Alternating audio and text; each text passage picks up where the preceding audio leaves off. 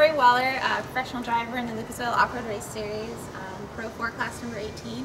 We're here at Eclipse RV in Riverside, California today. We're going to pick up our brand new Loner 36 G2S Attitude toy hauler and we are so excited to get this. Um, we're going to be taking it to all of our races, local and national, and um, you know you probably see us out of the dunes sometime as well in this unit. So feel free to stop by if you're at the shop.